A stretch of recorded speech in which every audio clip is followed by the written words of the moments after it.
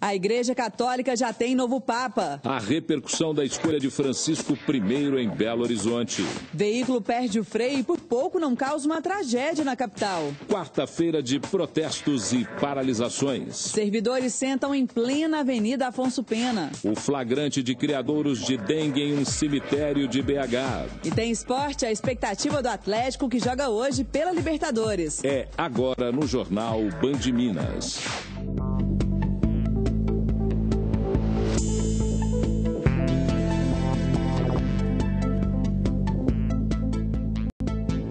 Boa noite. Boa noite. O argentino Jorge Mário Bergoglio, agora Francisco I, foi escolhido como novo Papa. Assim que foi feito o anúncio em Roma, em Belo Horizonte já houve repercussão.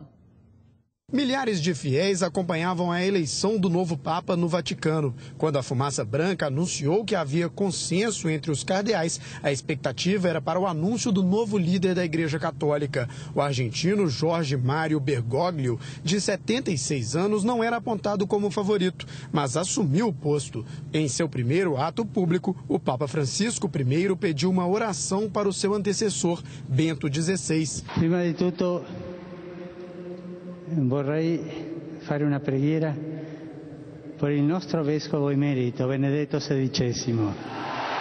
Menos de uma hora após a confirmação, o arcebispo de Belo Horizonte reuniu a imprensa. Dom Valmor Oliveira de Azevedo classificou Jorge Mário Bergoglio como um homem simples e seguro. Sua presença simples, discreta, mas trazendo segurança, uma consciência muito clara de sua missão e agora de modo muito especial para o caminho de nossa igreja. Dom Valmor comemorou a eleição do primeiro Papa latino-americano e disse que espera a retomada da simplicidade evangélica. Eu não tenho dúvida. De fato, o que sempre ouvimos dizer eh, do Papa Francisco I é exatamente essa simplicidade evangélica, que é o grande segredo de toda a renovação.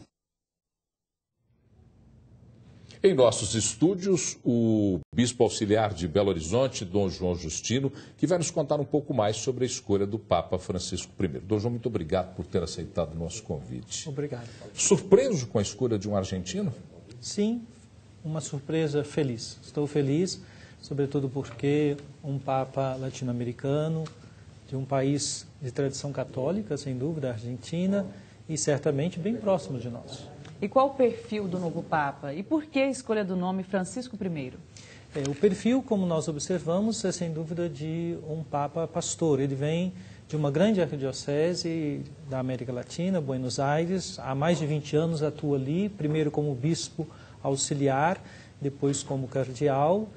E, portanto, tem uma experiência pastoral junto das comunidades. Já, já apareceram as primeiras referências do seu trabalho, sobretudo na periferia, junto aos mais pobres. Isso indica, e já está indicado de algum modo, na escolha do nome, Francisco I. É? A figura excelente de Francisco de Assis no cristianismo, e pela primeira vez um Papa escolhe este nome, marca sem dúvida a direção da missão da Igreja, a missão de Jesus, é, de evangelizar, sobretudo, os mais pobres. Um Papa que vem da América Latina, onde nós temos bolsões de miséria, é, escolhe este nome, é um recado que ele já deu para toda a igreja no primeiro momento. Dom João, a igreja foi impactada com a renúncia de Bento XVI, uma série de notícias sobre escândalos financeiros, pedofilia. O Papa escolhido vai enfrentar muitos problemas nesse início de pontificado? Certamente ele tem que ouvir ainda mais aquilo que já começou nas congregações gerais, mas ouvindo e tomar decisões na continuidade, inclusive, daquele exercício de Bento XVI, de tentar compreender as causas dos problemas e de interferir. Nós esperamos que ele seja firme nessas decisões que precisam ser tomadas, mas, sobretudo, que ajude a igreja a olhar para fora, considerando os problemas internos, mas olhar para fora, que a missão é muito maior e mais significativa e mais importante do que os problemas que temos que enfrentar. O senhor acredita que a igreja passará por mudanças significativas com a escolha deste primeiro Papa jesuíta e também latino-americano? Eu tenho esperança por ele ser latino-americano, vir desse continente da esperança, como tanto se falou. A sua formação jesuítica, sem dúvida, é fortemente uma boa teologia, e, sobretudo a dimensão da formação espiritual na tradição de Inácio de Loyola. É bonito que o Papa tenha começado na sua primeira palavra, convidando toda aquela multidão que estava na praça a orar nas intenções do Papa Emérito Bento XVI e por ele mesmo.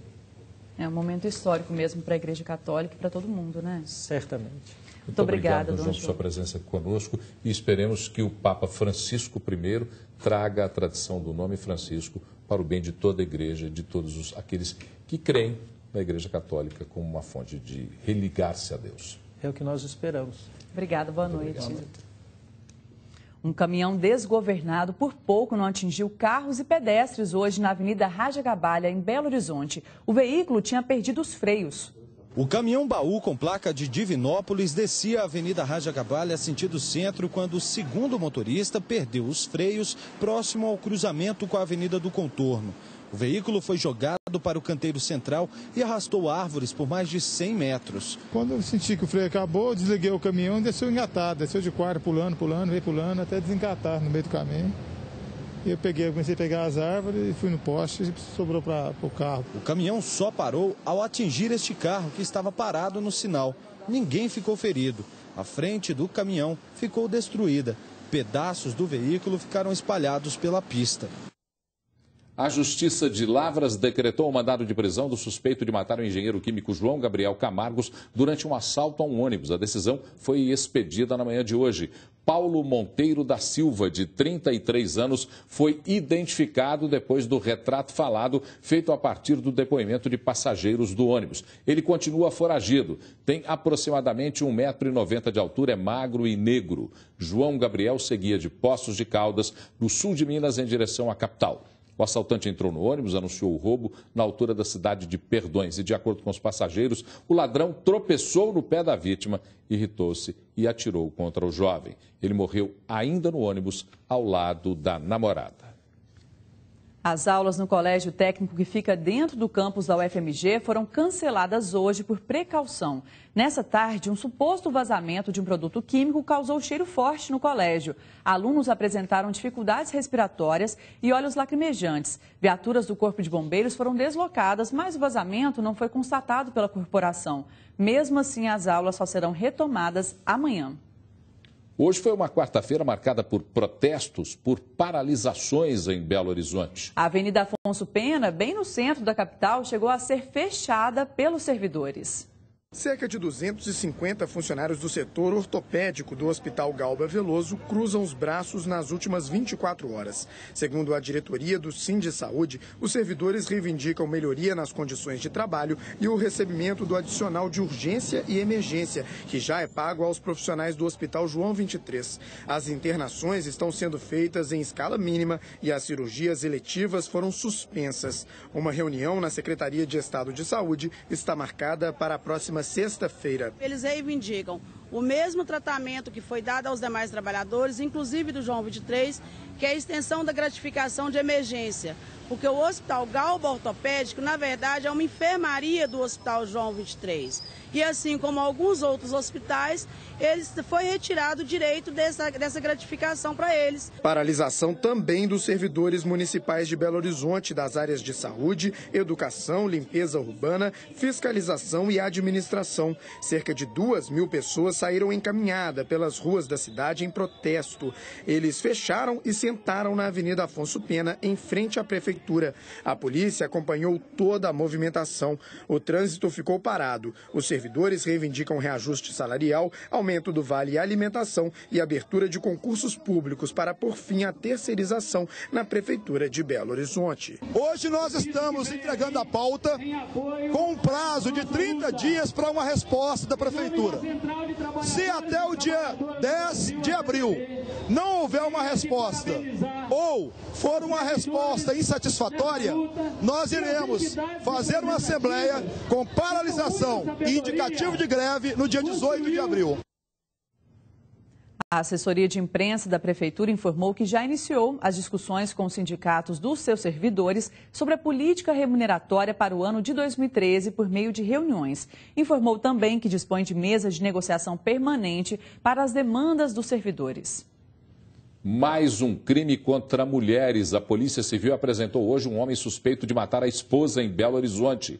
Ele é Alisson Gonçalves da Silva, 25 anos. Simone Pereira de Souza, de 30 anos, foi encontrada sem vida, amarrada em uma cadeira. De acordo com a Polícia Civil, o crime foi executado com requintes de crueldade. Alisson foi preso na casa do seu irmão, no bairro Novo Progresso, na capital, onde se escondia da polícia. Blitz da Lei Seca em Belo Horizonte. Três carros são parados e polícia descobre que um dos veículos era roubado. Cerco fechado para o Wallace, Rubens e Max. Os três homens foram presos pela Polícia Militar em uma blitz da Lei Seca. Foi desconfiado da, da placa. A placa foi verificada, estava com selo partido. Verificando também o chassi do veículo, constatou-se que o chassi era de um veículo furtado em novembro do ano passado condutor foi, foi passado, foi feito o teste do, do etilômetro no condutor e foi constatado é, acima do, do, do nível permitido. Com os homens foram encontrados celulares, cartões de crédito, correntes, relógio, 720 reais em dinheiro e capacetes de motociclista. Mas o que chama atenção nessa ocorrência é o fato da documentação do veículo estar regularizada. O Wallace, o suspeito de ter cometido furto, alega ser o dono do carro. Mas para a polícia não há dúvidas de que o verdadeiro proprietário é um aposentado de 70 anos. Rosalino reconheceu os homens que roubaram o carro dele em novembro do ano passado. Tem três juntos lá, mas que me tomou o carro foi dois. E o trânsito continua sendo feito em meia pista na BR-050, em Uberlândia, no Triângulo Mineiro. Um buraco de quase 5 metros se abriu na rodovia. De acordo com a Polícia Rodoviária Federal, a erosão aumentou nas últimas 24 horas por conta da chuva na região. Uma equipe do DENIT esteve no local, liberou parte da rodovia, que estava totalmente bloqueada até a manhã de hoje. Flagrante, criadouros do mosquito da dengue foram encontrados dentro do cemitério do Bonfim, em Belo Horizonte. O jornal Metro trouxe fotos que mostram água parada em vários vasos e obras no local. A Fundação de Parques Municipais informou que orienta os visitantes a colocar areia para evitar esse tipo de acúmulo de água e que são feitas vistorias diariamente. Os focos do mosquito já renderam uma notificação ao cemitério. Em no máximo dois meses, a administração terá que retirar os cacos colocados nos muros, já que neles também foi encontrada água. E neste verão, os casos de dengue aumentam mais de 300% em Belo Horizonte. É um risco de surto que preocupa. O número de doentes até o momento já é quatro vezes maior que o registrado em todo o ano passado. Para tentar conter o avanço da dengue, que já afeta mais de duas mil pessoas em BH, a Secretaria Municipal de Saúde apresentou novas ações hoje. Além do relaxamento da população, o aparecimento de um novo tipo de vírus que nunca tinha atingido Belo Horizonte também vem contribuindo para o crescimento assustador no número de casos da dengue na capital. E a situação pode se agravar, já que os meses de março e abril são considerados os piores por combinarem alta temperatura e pancadas de chuva. Para brecar o avanço da doença, a Prefeitura chegou até a arrombar residências neste ano. Se o proprietário não é encontrado após diversas tentativas, os agentes podem fazer a chamada entrada forçada. Cerca de 1.700 servidores intensificaram os trabalhos neste início de ano. Em 38 mutirões já realizados, foram recolhidos 1.800 pneus e 142 toneladas de lixo. A seguir, a audiência pública discute o andamento das obras do BRT na capital. E cresce a produção da indústria mineira. Agora são 7 horas e 4 minutos. Nós voltamos em instantes com mais Jornal Band Minas.